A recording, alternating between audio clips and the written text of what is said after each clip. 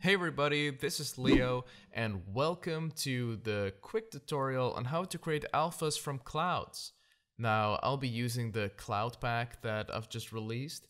If you haven't got the cloud pack, there's the sample pack with uh, a bunch of free assets that you can download right now. So I would say do that. Now I'm gonna be using the 400 asset pack. I'm just gonna grab one of these and throw it into Photoshop. Now these are raw files, so you will be first presented by a camera raw window, but we're not going to be worrying about that.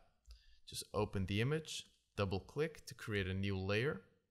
And now, how are we going to create an alpha from this so that you can use it for your compositing or whatever you really want it for? First of all, we're going to come up here to the channels tab next to the layers. You will see we have the RGB, which is what we're looking at. And then we have the red, green, and blue channels.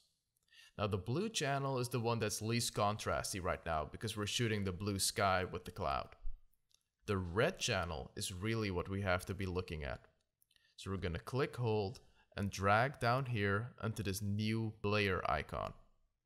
Now we've created a copy. Up here, image, adjustments, levels. Now look at this.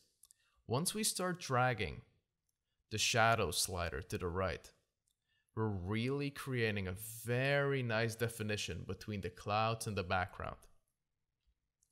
By sliding this slider to the left, we're increasing the highlights and what we're going to be working with is an alpha mask that's using a uh, Luma style technique. We're essentially saying that white is going to be 100% opacity and black is going to be 0% opacity. And that way we're going to be able to have a very clean cutout of the clouds that still has some translucency to it. There's something important I need to show you. If we zoom in over here, you can see that the clouds are kind of losing their definition around the edges. Now we don't want that. To create a nice composite, you do want to have a smooth fall off. So we're going to push this shadow slider a bit further to the left. Now there is this dark patch over here and we can fix that by using the midtone slider.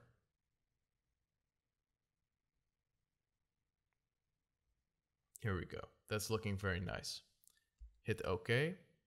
And there you go. Now before we continue, I do want to say that the cloud pack consists of many different assets, and each of them has a different level of brightness in the background. This technique, however, works with any of these clouds. You'll just have to adjust the sliders accordingly to your image. Now we're hovering over the red copy. Hold Command, click, and we're creating a selection of what we've just been Luma masking. Hit RGB, back to layers. And now there are two ways to do this alpha. The first one is the quick and rough one. Command J. And then we've created a copy, a simple cutout from what we've just selected.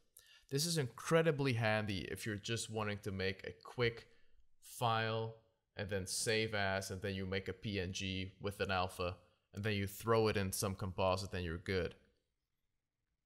Now most of the times what you want is to have a bit more control over the situation. Back to this layer, channels, red copy, command, click for the selection. Hit the RGB, back to layers. And now we're gonna go down here and press this button. And we're gonna create an alpha mask. Essentially, this did exactly the same. But there's one very powerful thing we can do now just created a little background so that we can see what we're doing. Press the alpha mask, image adjustment, and then let's do a curves adjustment. And now we're working non-destructively. So we can bump up the shadows over here in the curves adjustment and we can add back in some more information. We can lower the highlights. We can bump the highlights in different areas we can then still make a lot of adjustments to the actual cloud image. And there you go. That's how you create a alpha of a cloud in Photoshop. I guess that's the best I can do in under 5 minutes. If you want to add the alpha mask into an After Effects composition, just drag the whole Photoshop file in there and that's it. That works perfectly great. Because of dynamic link, you can even make some adjustments to your alpha in Photoshop and then resave it and it updates automatically. So thanks for watching. I hope this helps.